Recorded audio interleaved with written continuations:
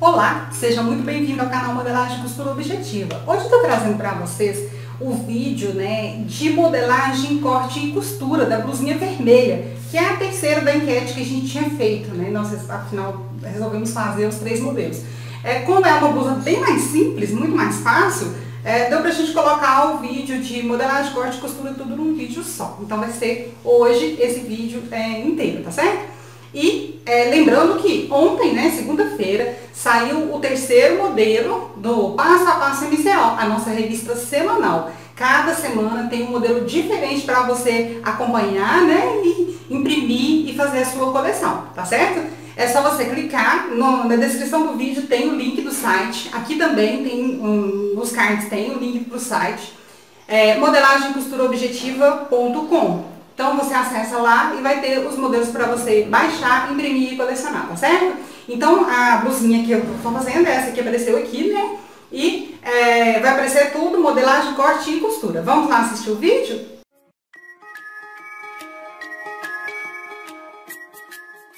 Bom, então vamos fazer a blusinha, é muito fácil. Eu já estou aqui com a minha base objetiva copiada, frente e costa, que é o que nós vamos gastar. Copiei ela até a linha de quadris. A base é a orientação para a gente em tudo. A gente tem a linha de busto, né? Tem a pence, tem tudo, todas as informações que a gente precisa para a roupa ficar certinha.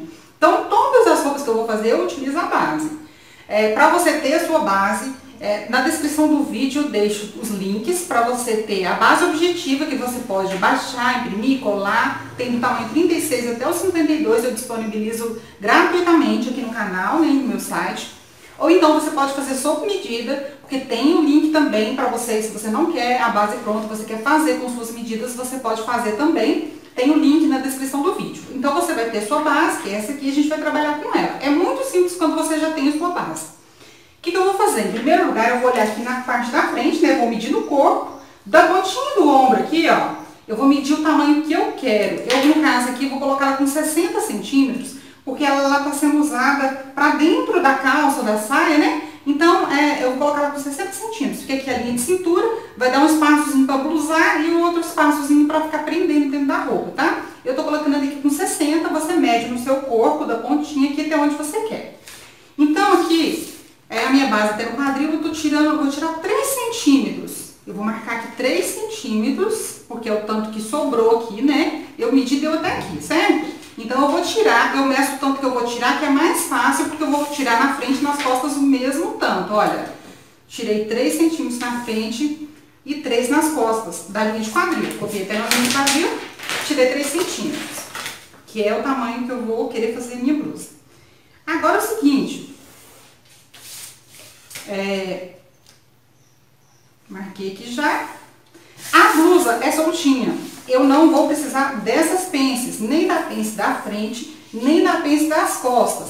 Eu vou ignorar essa pence. Se você não quiser, não precisa nem copiar essa pence aqui, porque não tem necessidade, tá bom? Agora, eu vou é, tirar aqui no decote o tanto que eu quero tirar. É, lá, me parece ser uns 2 centímetros é, que baixou aqui. Eu vou tirar aqui no meiozinho mesmo, no meio da frente, eu vou tirar um e meio. E aqui, olha, eu vou marcar é, essa, essa quantidade você pode marcar no corpo. Eu marquei ali na minha boneca, tá dando mais ou menos uns é, 14 centímetros de decote, tá? Que eu marquei lá, aqui tá, eu tô colocando 7, por quê? Porque eu tô fazendo só a metade, né, do molde. Então, essa partezinha aqui, que onde vai ser o franzido, eu tô querendo, eu vou fazer ela com 14 centímetros. Então, eu medi 7 centímetros aqui com a minha fita, olha.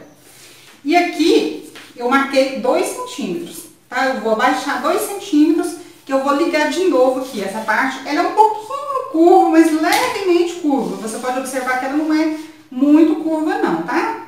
Eu vou colocar aqui levemente curva. Essa partezinha aqui, que é onde é, vai franzir, essa partezinha aqui vai franzir. Dessa parte aqui, eu vou descer pra cava. Vocês podem ver que a cava dela é bem baixa. Eu não gosto muito de abaixar na cava, mas o modelo lá tá mais baixo, então eu vou abaixar aqui um centímetro e meio.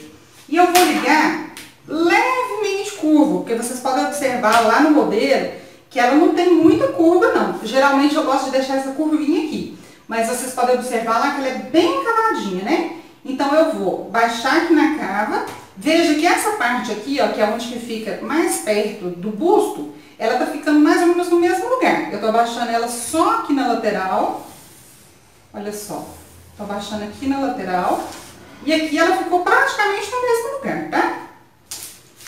Agora, é, eu vou ver a questão da largura. A blusa é toda soltinha, vocês podem ver que na lateral, na cintura, ela até sobra. Então, eu vou dar aqui uma folga de um centímetro no quadril. Ela vai ficar com a folga total de 4 centímetros, né, na circunferência. Aqui, eu vou primeiro jogar a pence aqui pro decote, pra gente fazer aquele franzido, para depois eu arrumar a lateral dela, tá? Então, primeira coisa, eu vou vir aqui, vou colocar a, a régua aqui no vértice da pence e mais ou menos na metade aqui do decote e vou fazer um risco. Vou abrir aqui para transferir a pence para cá, que é onde a gente vai fazer o franzido.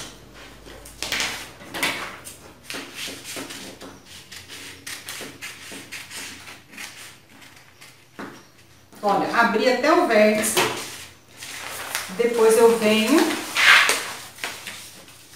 fecho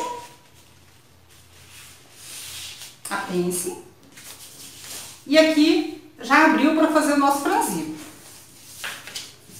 Aqui eu colo, eu transferi a minha pence de busto para o decote, para fazer o franzido.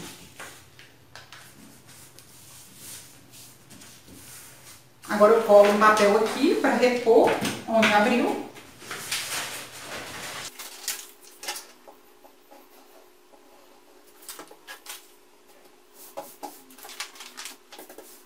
Olha só, então aqui eu já transferi a minha pence pra cá. Agora eu vou só dar uma ajeitadinha aqui. Olha, eu pego aqui a, essa parte e essa e ligo. Vai tirar um pouquinho aqui, tá vendo? Então, aqui já fiz o meu decote. Agora, aqui eu vou cortar, né?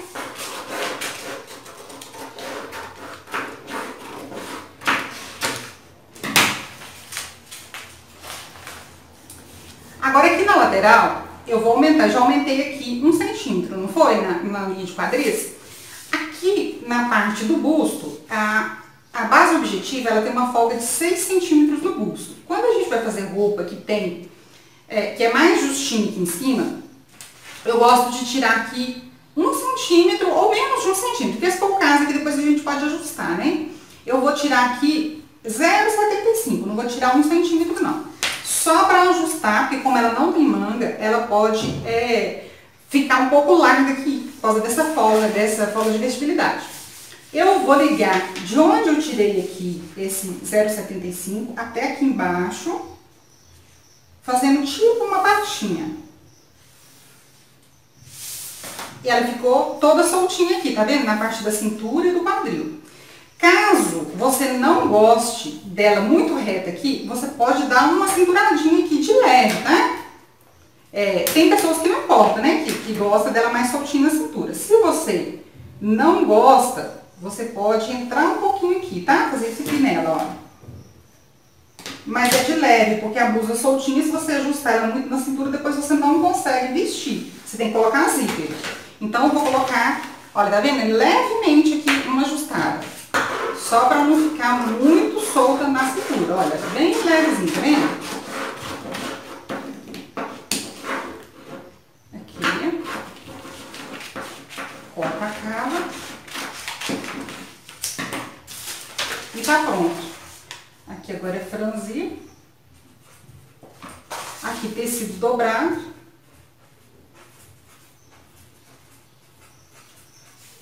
Frente uma vez tecido. E aqui é o fio, essa linha do meio aqui, ó, da, do meio da, da pence é o nosso fio. Aqui é o comprimento, você já pode deixar a barra, se você quer fazer barrinha de noivo ou barrinha de pé de máquina, o que você quiser fazer, já pode deixar a barra. É só cortar. Agora, na parte das costas, eu vou fazer também o decote que eu quero. Lá na foto não tem o decote, né? Não tem o decote aqui mostrando aqui, mas eu imagino que ele deve ser mais ou menos parecido. Então, eu vou baixar aqui 2 centímetros. Vou colocar ele aqui com o mesmo tamanho das da frente, que foi 14 centímetros.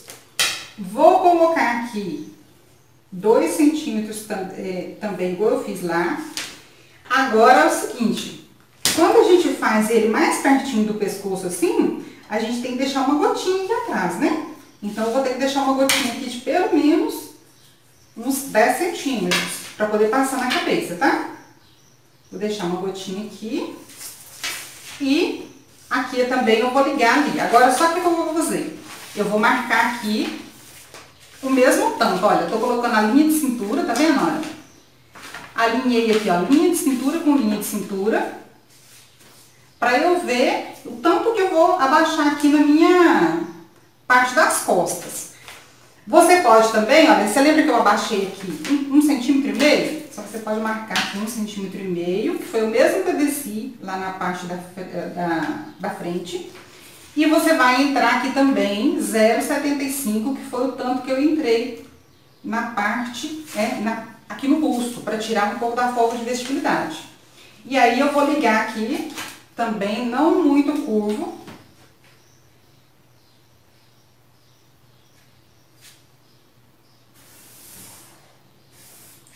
e fiz a cava das costas. Agora eu vou utilizar aqui, ó, a mesma linha de cintura para eu marcar a lateral, mesmo para as laterais ficarem iguais.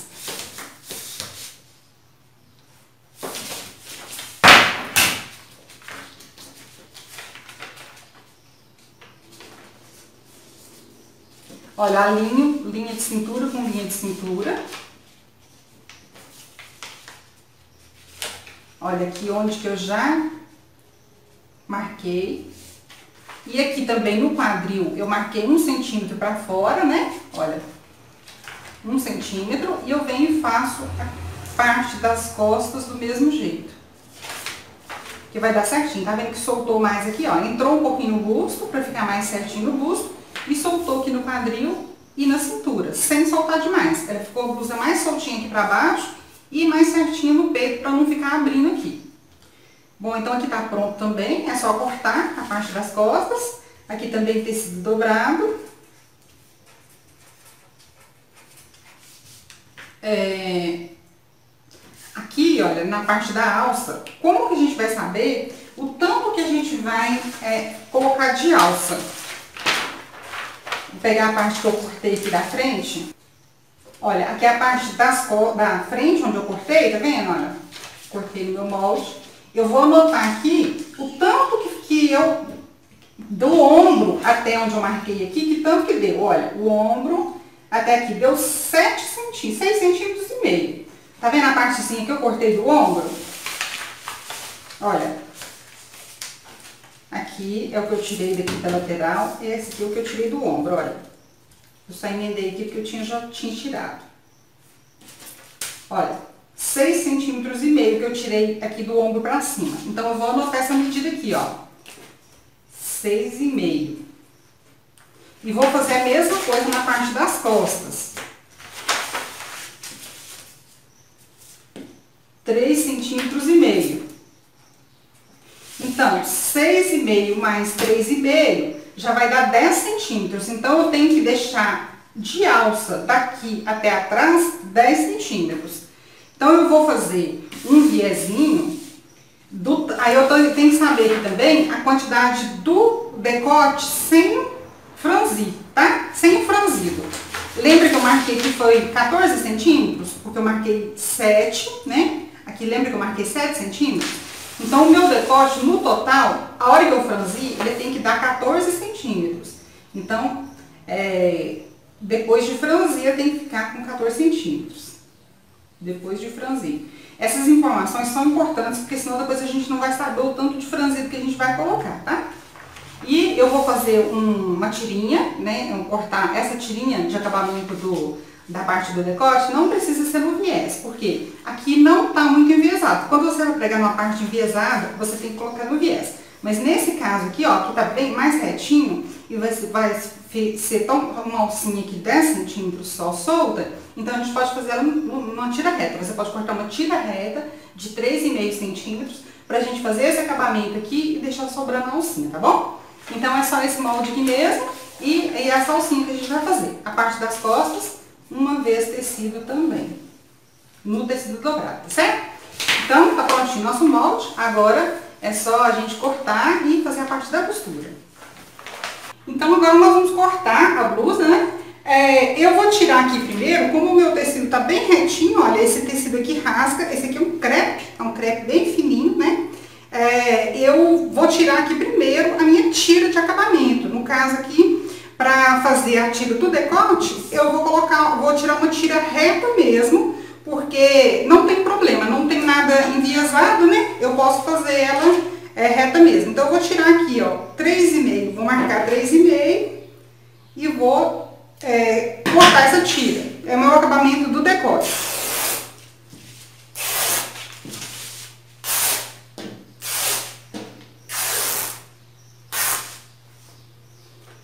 Agora eu vou só dobrar o meu tecido aqui é, para tirar frente e costas.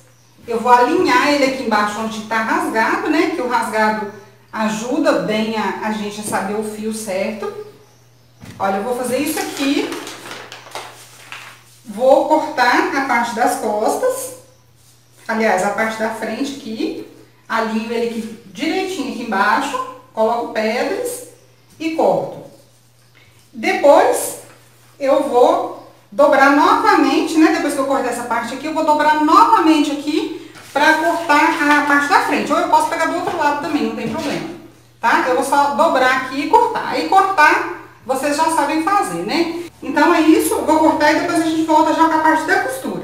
Bem, ali agora eu tô começando a fazer a bainha da, das mangas. Eu vou fazer bainha de noiva nas cavas. E eu já vou explicar por quê. Então, em primeiro lugar, eu tô passando uma costura ali para embeber, uma costura com ponto grande para embeber, porque a cava, como ela tá inclinada, ela tá no viés, então eu preciso de passar uma costura com ponto grande e puxar. Por que, que eu vou fazer bainha de noiva ali? Para não ficar um acabamento grosseiro, que é viés, né? E também porque ela não tem aquela partezinha curva. Sabe aquela curvinha da manga? Lembra que na modelagem eu tirei aquela curva? Então, assim, quando a gente está fazendo uma cava que ela faz um V, né, na lateral, dá pra gente fazer bainha. Mas quando é uma cava curva, não dá. Então ali eu passei a costura primeiro e puxei ah, o fio da bobina para poder é, dar uma embebida, tá vendo que eu tô puxando ali? Eu passei nas quatro partes, né, na cava da frente, na cava das costas, nas quatro partes de cavas. Passei a costura primeiro, para depois eu puxar, embeber e para começar a fazer bainha. Porque se eu só fizer a bainha ali, ela vai ficar toda é, folgada, né, na, na cava. E não é isso que eu quero, eu quero uma, uma cava justinha. Então eu estou embebendo primeiro. Lembrando que só estou fazendo a bainha porque ali é inclinado, ele não tem curva. É, eu vejo muitas pessoas me mandando fotos de acabamento, falam, ah, não consigo fazer acabamento, eu tô fazendo bainha na, na cava no decote. Não dá certo, né? Porque a parte é curva, então a parte de dentro é, fica menor, não dá certo. Só dá certo nesse caso aí, quando a cava é reta, né? Ela é só inclinada, reta, ela não tem curva. Então, eu tô fazendo por isso. E, é, no caso, eu tô fazendo a bainha de noiva, que ela é bem fininha. E tô fazendo com as laterais abertas. Você não consegue também fechar as laterais e fazer, não. Você tem que fazer com as laterais abertas. Ali agora já embebi as quatro partes, né? Tá todo com costura passada e já foi embebido. Agora eu vou fazer a bainha de noiva.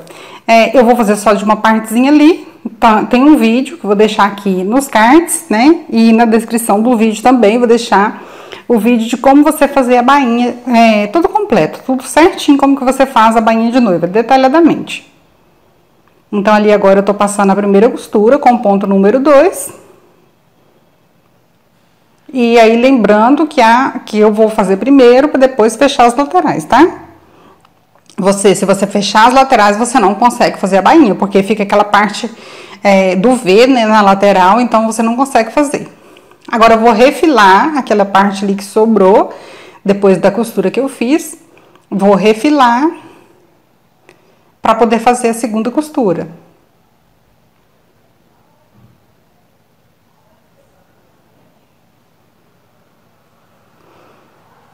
Ali eu vou cortando bem pertinho da primeira costura que eu fiz.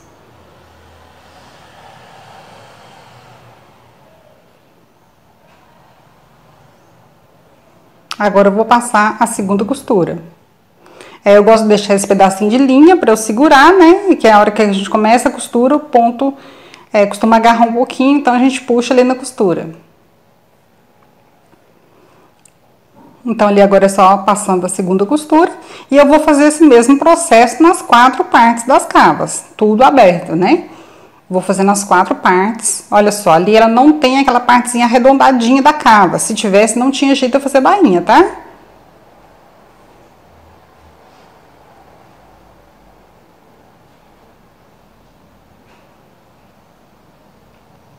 Ali já tá pronto. Vou fazer o mesmo processo nas outras cavas, nas outras partes.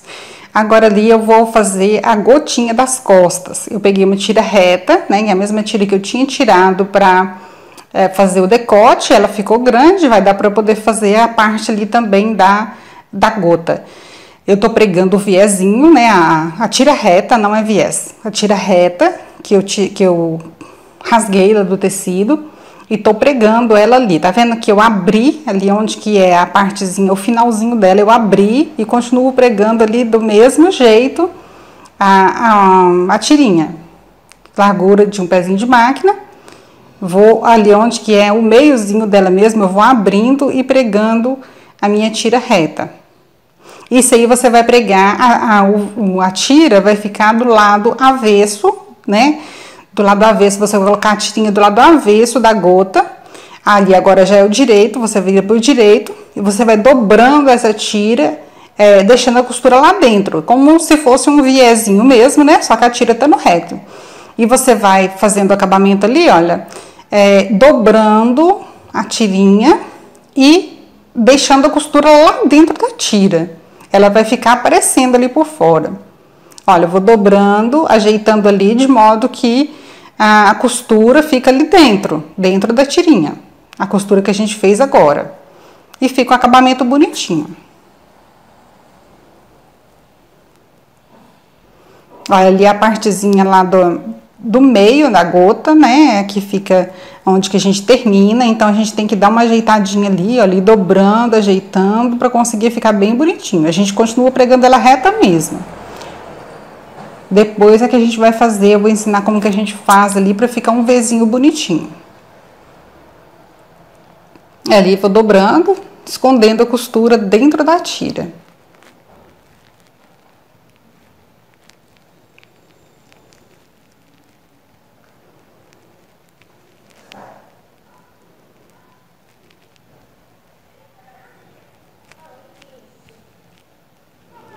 Prontinho. Agora eu marco o meio certinho.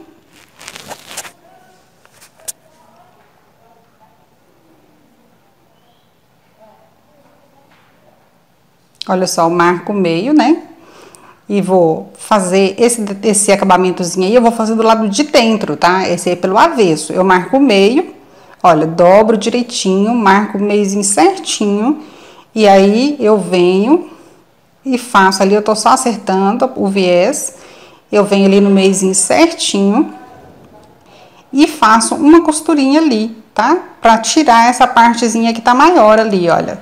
Tá vendo em cima, né? Eu vou fazer um, um uma costurinha ali pra diminuir aquela parte é, de cima, pra ficar fazendo um Vzinho certinho, olha só. Olha, ele ficou um Vzinho certinho e ficou aquela costurinha por dentro. Você tem que tomar cuidado para a costura pegar somente o viés, porque senão ela fica aparecendo por fora. Tá vendo ali, ó? Ficou certinho.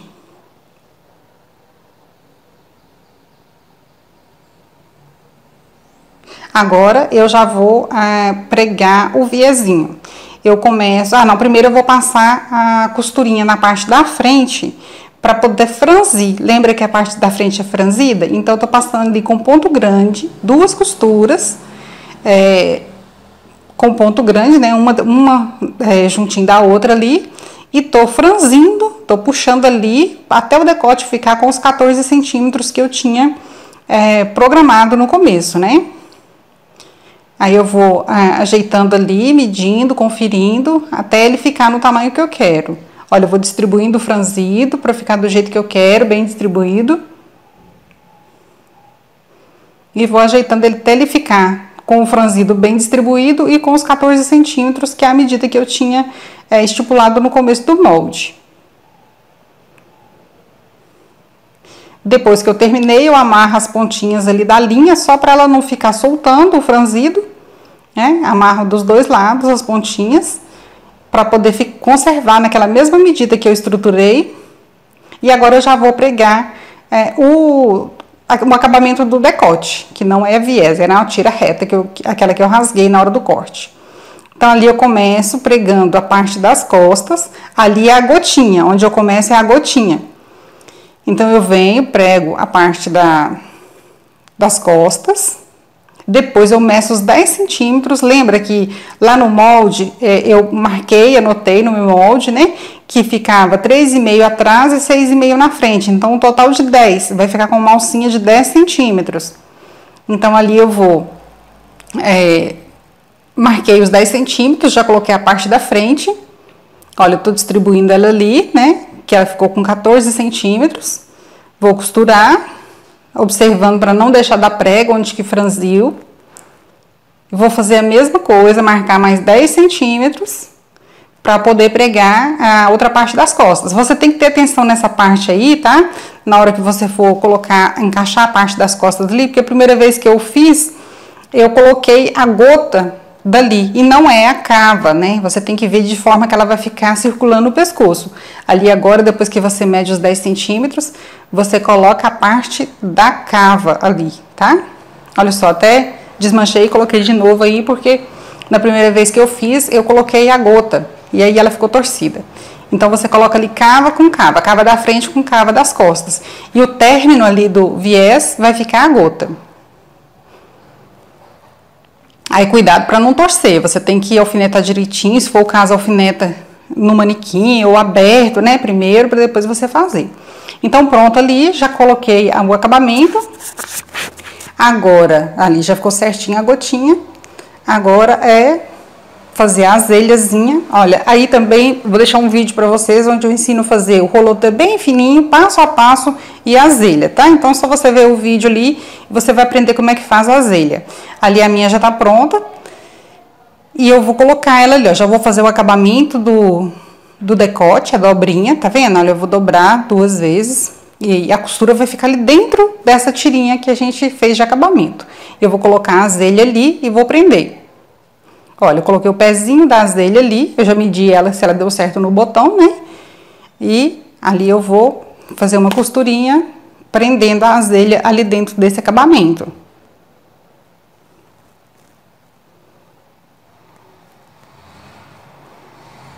Prontinha ali, eu vou fazer uma costurinha prendendo a azelha ali dentro.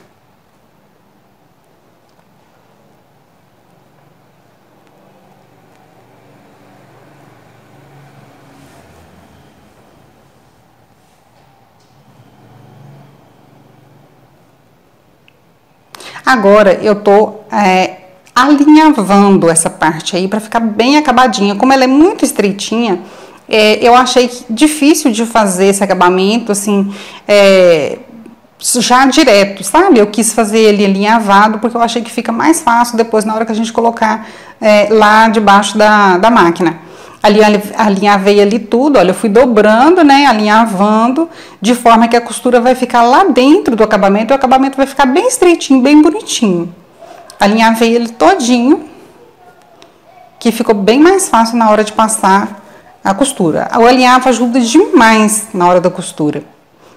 Olha só, e agora só passar a costura mesmo. E ficou bem fininho, bem delicado, bem bonito.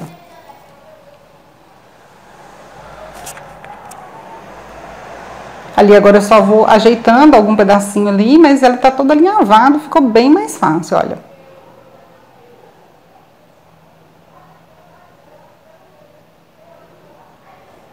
Ali é só dobrar mesmo, né?